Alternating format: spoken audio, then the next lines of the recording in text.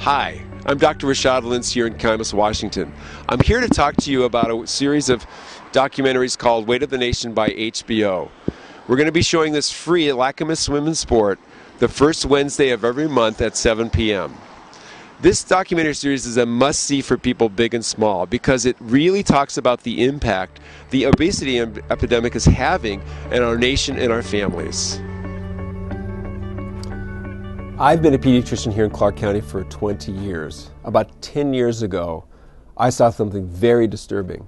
The kids I was seeing were coming in heavier and more obese than I'd ever seen before. This is an epidemic that is getting worse and worse. We have got to deal with this.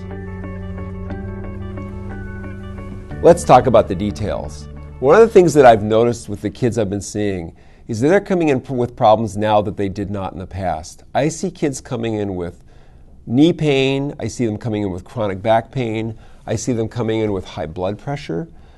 About 10 years ago, I started seeing a trend where I started seeing kids with adult onset diabetes, which I had never seen before.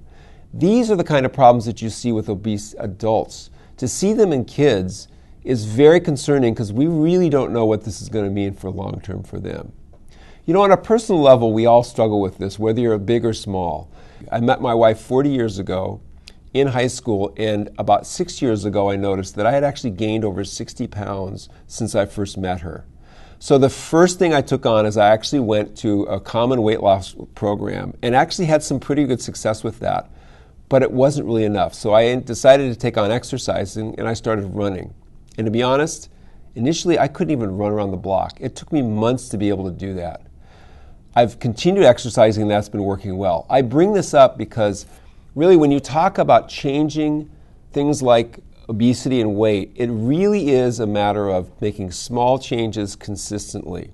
So, the first small change that I would ask you to do is to come and see Weight of the Nation because that film will help you start to realize what are the things you can do in your life with your friends and your family to move things forward.